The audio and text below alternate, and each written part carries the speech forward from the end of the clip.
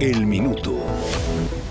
Hey family, how you doing? I'm Ash Chaparro and here are today's top stories.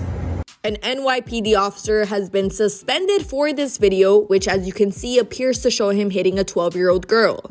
The officer was trying to detain her teen sister over a Staten Island street fight. Witnesses and cops say the girl swung at him and he swung back. The officer has been on the job for 14 years. And we're just four days away from what could be a huge medical disaster in NYC. Nurses at five major hospitals are preparing to go on strike if union negotiation deals aren't reached. One of the city's largest hospital systems, Mount Sinai, is already preparing for the worst. They're diverting ambulances, transferring sick babies, and canceling elective surgeries. Keep in mind, every hospital bargains individually with their nurses. We'll keep you posted.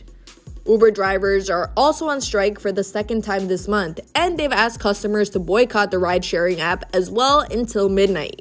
Drivers are upset by Uber's attempt to block a pay hike that was approved by NYC's Limo and Taxi Commission. The raise was supposed to go into effect on December 19th. The courts will be holding a hearing tomorrow on the issue. A lot of chaotic vibes today. Stay safe, y'all, and I'll see you right back here tomorrow.